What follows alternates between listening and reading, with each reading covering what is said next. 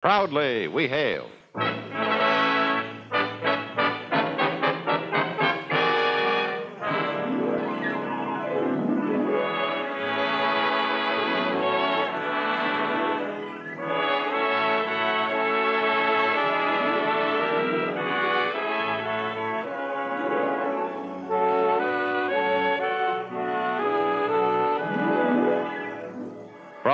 York City, where the American stage begins, here is another program with a cast of outstanding players. Public service time has been made available by this station to bring you this story as proudly we hail the United States Army.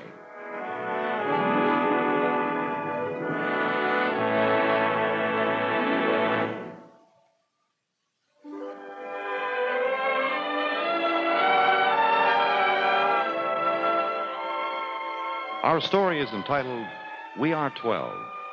This is a narrative of an even dozen men on a patrol in Korea and how one of them, a private Matt Jensen, goes through his first experience of enemy action and comes through it a better man and a better soldier. As proudly we hail the men of the Eighth Army.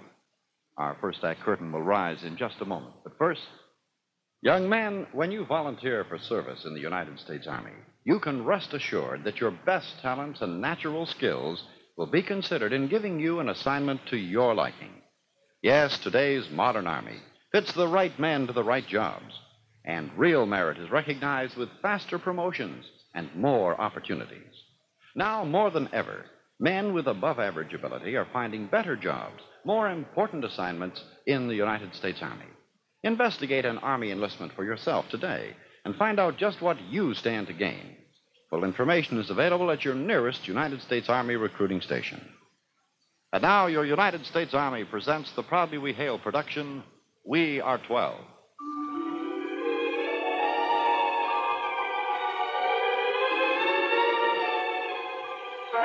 It's a warm, hazy summer morning.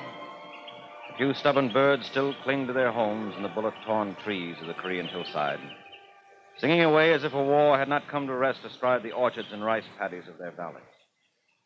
For in July 1952, the Korean War has stabilized itself into a kind of fighting not known since the days of World War I. Bunkers, trenches, and no man's land in between two opposing lines. You aren't singing, however, Private Matt Jensen. Korean hills have a way of taking the wind out of a young man just reporting to his company near the main line of resistance. Or the MLR, as the men of Baker Company call it. Hey, hey, buddy. Hey, which way's the orderly room, Bunker? You just reporting in? Yeah, Hi. How long you been over? uh, Korea, about two weeks. They're giving us some final training. Oh, but these hills. Yeah, well, in Korea, there's only just two directions up the hill and down the hill. Where you want to go is about a 100 yards further up. There's a sign under the camouflage netting. You'll see it. Thanks. They say, uh, how long does it take a man to get used to climbing these hills? You don't get used to it, buddy. You just get the way you can do it. Well, that figures. Uh, well, thanks again. Take it easy. Right. Take it easy yourself. Don't Joke with me, boy. I'm an old man. If I make this hundred yards, then I'll think about taking it easy. Ah, you'll be surprised at things a man can do. Yes, Matt, you'll be surprised. Maybe surprised is the wrong word, but you'll certainly be educated. And it's an education that really pays if you pass the tests. And here's where you enroll in the course. It's cool and dim inside the log and dirt bunker. How many first sergeants have you reported to in your time, Private Matthew Jensen? Private Matthew Jensen? Right, Sergeant. First off, welcome to Baker Company. We're glad to see you, believe me. I won't hold you up here, though. When you get to your squad, you'll get your real orientation. You'll be with the first squad, fourth platoon. Your squad leader is Sergeant Dave Reese. He's one of the best, an old soldier and a professional. Watch him. You'll learn a lot. Right, Sarge. How do I get there? Up the hill, fourth bunker. Stay off the skyline now. Let that be your first piece of advice in Baker Company. It's a good one. Don't worry, Sarge. If there's anybody I'm going to be sure to watch out for, it's me. Well, ask for Reese when you get there. He'll get you squared away and settled down. Good deal, Sarge. Thanks. Right, and good luck, Jensen. Sergeant, I was born lucky. Yeah, well, don't push it. Stay off the skyline. You don't want to die lucky. Four bunkers up and ask for Reese. Bunkers. Underground log cabins where you cover the one opening with chicken wire to keep the commies from rolling a grenade into your lap some nights. But GI ingenuity can do a lot. A stove made from an empty oil drum with empty shell casings for a stovepipe. Bunks made by weaving communications wire over a framework of branches. Not bad for Korea. At least you can sleep off the ground. So this is going to be home for a while, Matt. And these are going to be your family. Hi, Sergeant Reese around? That's me. Guess you must be Jensen. Word really travels fast around here, doesn't it? Got it from the first sergeant this morning. Uh, do I bunk in here? Right, over there in the corner spot. I'll give you a hand with your stuff there, but first you better meet the boys. This is uh, Corporal Rodriguez. He's from down next to the Rio Grande. Call him Rod. Hi, Rod. My pleasure. Now, if Rod there lived just about 20 miles south of where he does back home, he wouldn't be climbing these hills. He'd be a Mexican citizen. Oh, I like her the way she is, however, my good sergeant. Floweriest talking corporal I ever saw. right. And uh, this over here is Raymond, the uh, funny man. Ray, this is your new bunkmate, Jensen. Name's Matt Ray. Glad to know you. Glad to have you with us, Matt. Uh, going around this way, this is Jones. Hiya. Martin. Hi. Lasky. This is an important time, Matt.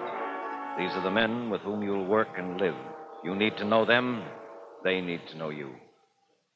So, as you get settled down, the most important part of your job turns out to be the old safety valve of the Army, the time honored bull session. Hey, hand me the can of bore cleaner, would you? Ah, Thank you. You are a gentleman and a scholar, my friend. How you gonna know a thing like that? Hmm? You wouldn't know a gentleman or a scholar if somebody walked up and hit you in the head with one. You are ignorant, Ray, but you have a good heart, so I forgive you.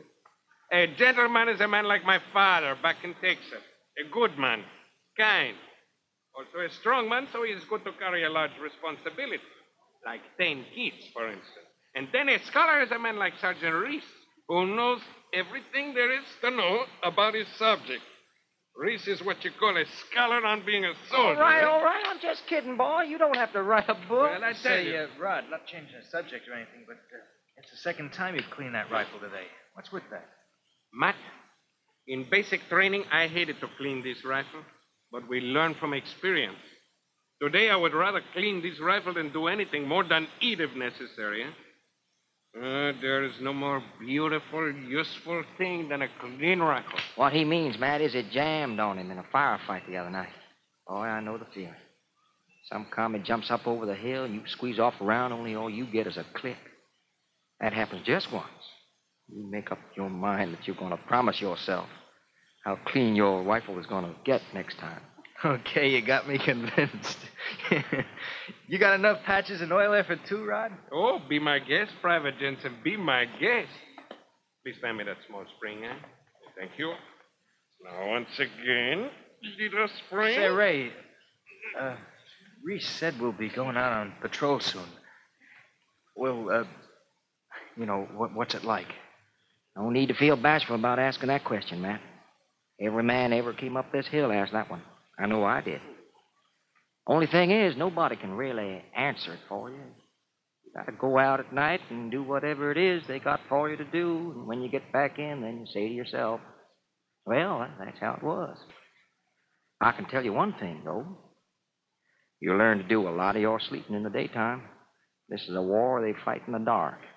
Well, there may be disadvantages to growing up in a big city, but it teaches you one thing how to take care of yourself. Oh, excuse me, Matt, but don't make a mistake for yourself. There have been a lot of people who know how to take care of themselves and that didn't do so outstanding in this proposition. He's right, Matt. Hmm? This is no one man deal. Just doesn't work out that way in practice. Oh, yeah, sure. I. Well, I just wondered, you know, how to work it. Just I've been taking care of myself for a long time now, and it's worked so far. This is different. Across that valley at night, everything gets boiled down and concentrated. Things that work and don't work show up pretty quick under pressure. Ah.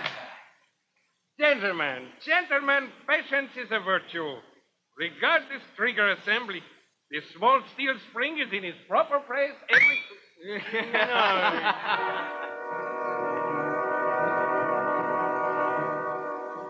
It's not all cleaning rifles and bull sessions, though, Matt. It's final training and briefings on the valley out in front of you. That bloody real estate, which has cost a lot more than just dollars and cents in the past few months. You have to know where every rock, every ditch, and bush is out there before you can move across in the black of night. So you listen.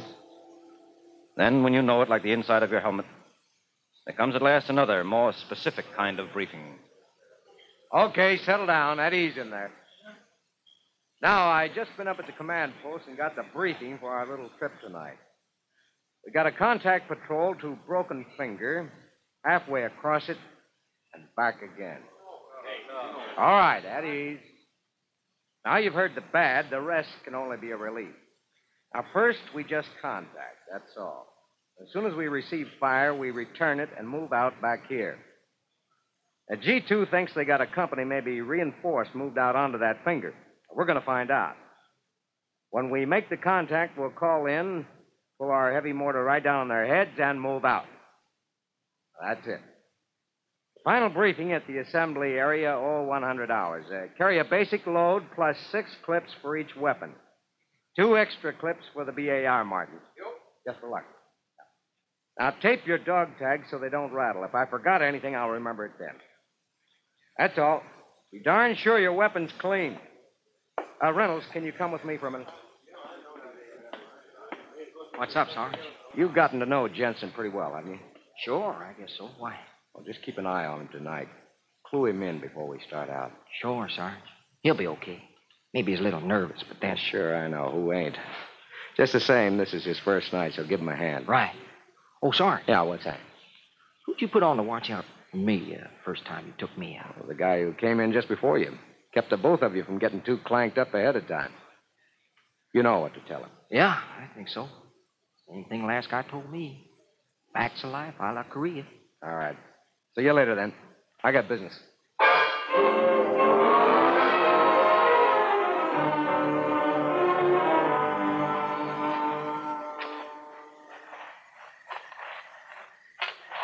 Black as the inside of a dog, Ray. You see where you're going. Always sort of get a feel after a while. Some guys say they can smell which way's north. I can smell that rice paddy down there, but that doesn't take much talent. Oh, hold it. This is the assembly area. Pull up a hillside and relax. The others will be along. Yeah, relax. Ah, you'll be okay. One thing to remember, though, it's good to have it fresh in your mind when we move out. Yeah, what's that? Well, together, we're not just 12 men. We're a 12 man weapon, a squad. And that's what'll get us out of a tough spot like nothing else can. But 12 men out there just, well, each just taking care of himself would be just 12 guys, each one of them all alone. Go ahead. That's all. We gotta stick together. Look, if you think I'm liable to bug out at the first sign of fire, why don't you just. Who said anything about bugging out? Just remember, we're all together and keep your eye on Reese. He knows his business, believe me. Sure, sure. We're all keyed up, eh? It's a good thing. You stop being keyed up, you're dead. Wonder what's keeping Reese. You want to talk less and listen more, Ray, if you want to hear people when they walk up on you. Rest are coming, so uh, you two guys form a base so they can fall in on you in two ranks. We got to move smooth now. Got a lot to do.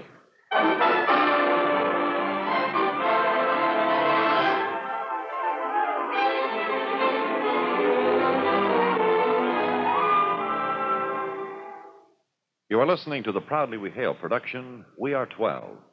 We will return in just a moment for the second act. Have you ever listened to an old soldier talk?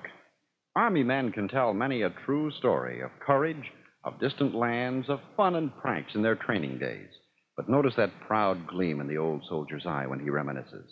That comes from the knowledge that he served well beside the finest men in the world. Old soldiers can tell you what the Army can do for you because they're the men who know. The United States Army has always been proud of its men, and the men have always been proud to wear the Army uniform. The Army wants you, needs you, can use your ability if you're young, intelligent, and can measure up to the high standards required of today's American soldier. Take my advice. Pay a visit to the local recruiting office in your hometown and have a chat with the friendly recruiting sergeant. He'll give you full information on what a career in the Army can do for you. Find out full information today. You are listening to Proudly We Hail.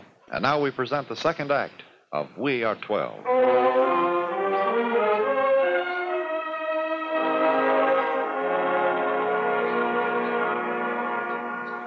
Yes, there are a lot of details to check before 12 men step off into an uncertain future of the hours before dawn. And these are the details that will make that future less uncertain. You throw as many small weights as you can into the scale on your side. Take every known precaution. It's the combat soldier's life insurance. It amounts to a real professional figuring all the angles before he moves. And you're watching a real pro at work now, Matt Jensen. Okay, okay, settle down. Now check these things. Anything not right, sound off. Okay, basic load plus six extra clips. Check. Dog tags taped so they don't rattle. Jump up and down. All right, hold it, Jensen. What do you got in that shirt pocket? Well, just a lucky piece, Sarge. I carried a long time. Now, it won't be so lucky if you get your head shot off because you rattle like a hardware store. Take it out. Oh, look, it's my lucky piece. Take I- it out. Now, here. You wrap this tape around it if you think you got to Carry it. Well, we don't count so much on just luck, Jensen. That's what we're doing with this check down, making our own luck. Okay, Rod, you got the flares and the Very pistol? I have them, Sarge. Red and green, just like Christmas. Raymond, check the walkie-talkie. Able one to seeing eye. Able one to seeing eye. How do you read me over? Seeing eyed, able one. Loud and clear. I say again, loud and clear. Over.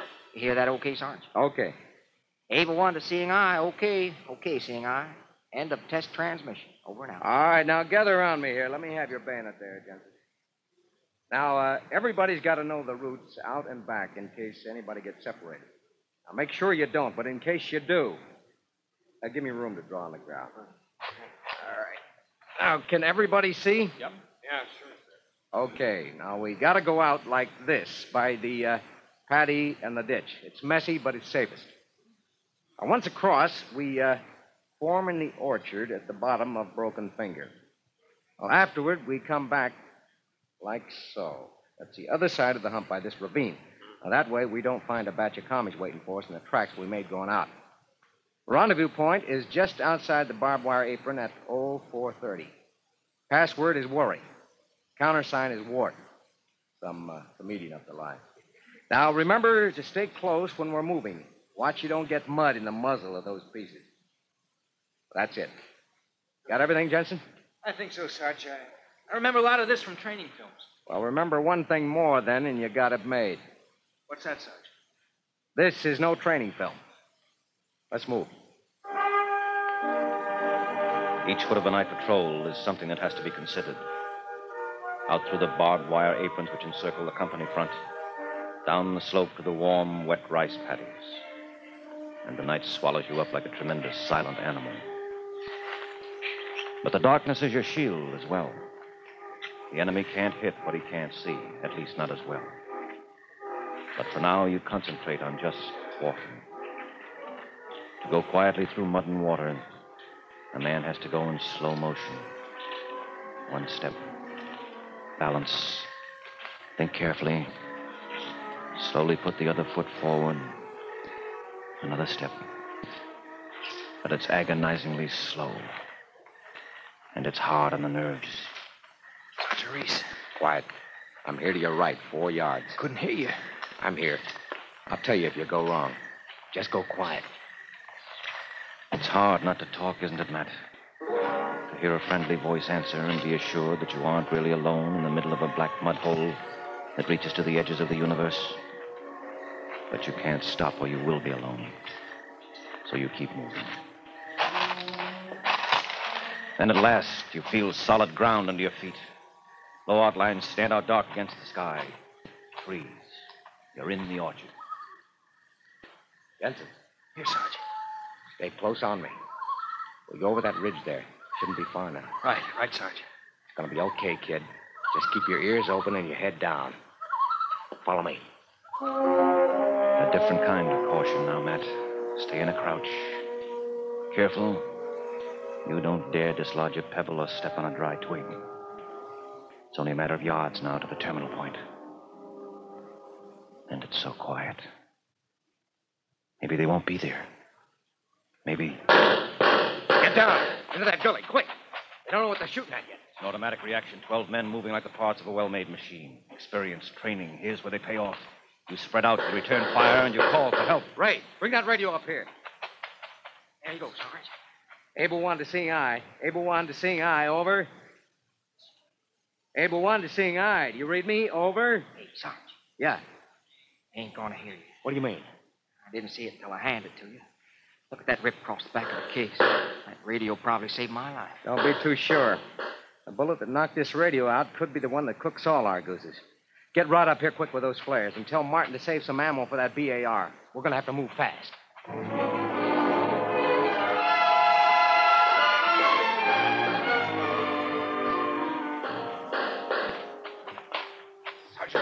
Here to your right. Get those flares over here. Looks like they've let up for a minute. Get two red flares up. Make sure they're red.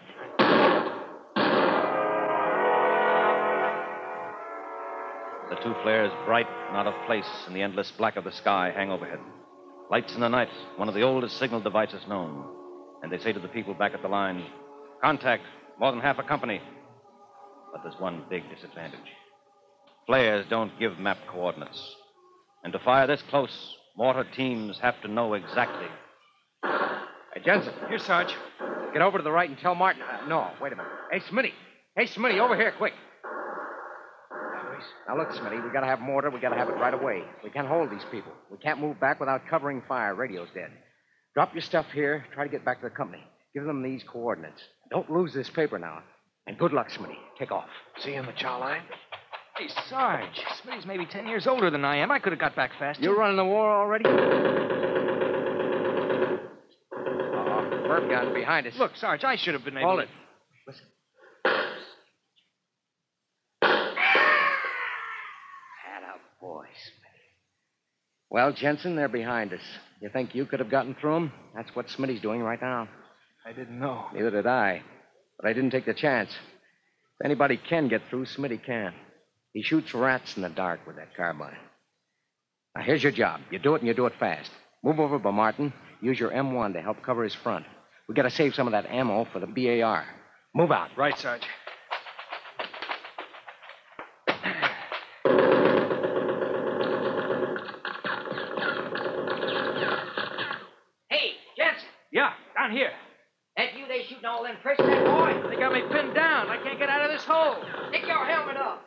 Crazy? This is serious. I tell you, I can't. Stick your helmet off!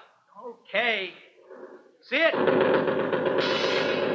Now what, General? You get a new helmet when we get back. Hey, Mark, you? That enough?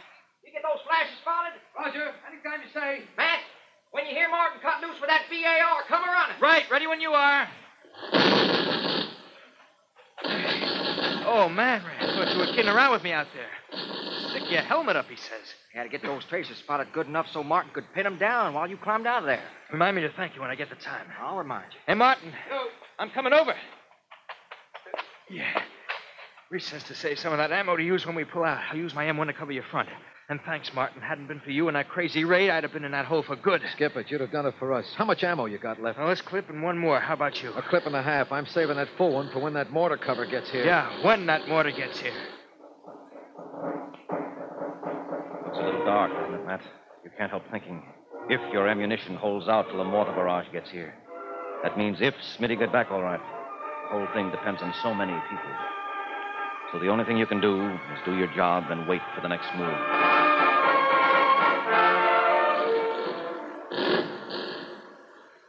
Anybody hit? Hey, anybody hit anywhere? Sound up. Okay. Raymond, okay? Julio Martinez, Orlando Rodriguez, okay. Rod, get ready to move out back to the company if that mortar doesn't get here in a couple of minutes. Okay, okay, no time for that now. We gotta move if we're gonna move at all. There's still some commies behind us. Martin we'll use the BAR to cover while the rest cross the gully. The rest of you guys move out fast. Okay, Martin, lay it down over their heads. I'll take up the slack with my carbine when you have to load. Lay it on them, boy.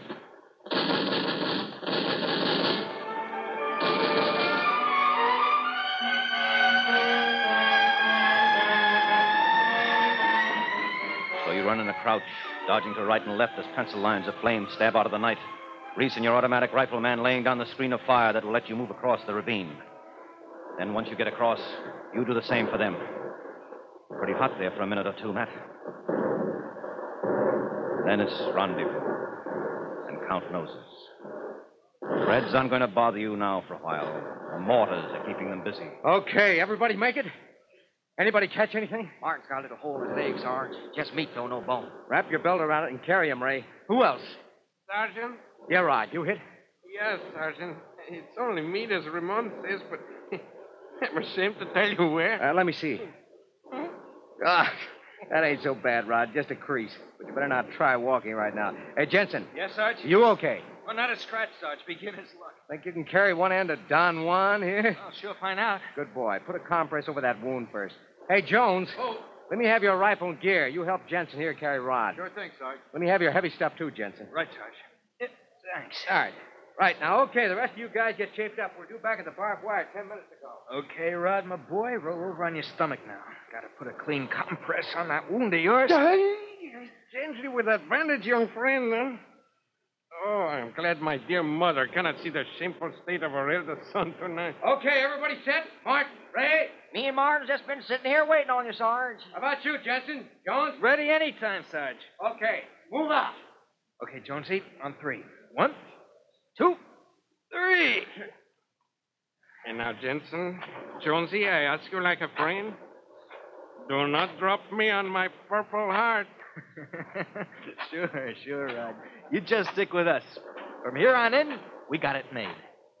So once again, 12 men have gone out and 12 come back. Mission accomplished.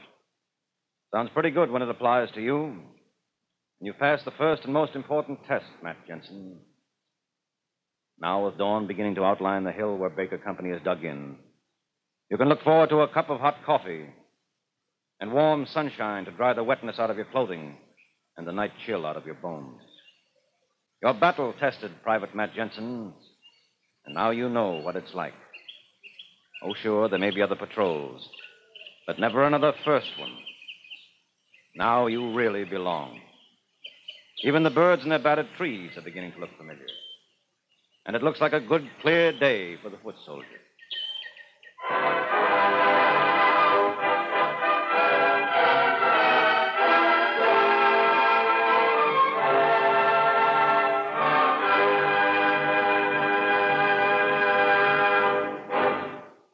Today, your rapidly expanding United States Army needs intelligent young men with ability and ambition.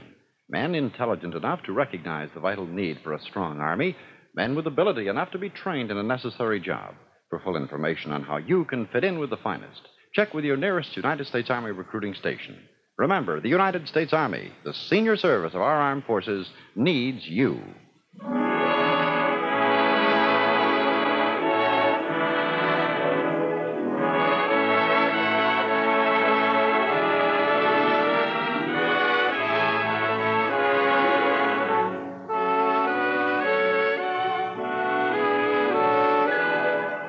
This has been another program on Proudly We Hail, presented transcribed in cooperation with this station. Proudly We Hail is produced by the Recruiting Publicity Center for the United States Army. This is Mark Hamilton speaking, inviting you to tune in this same station next week for another interesting story on Proudly We Hail.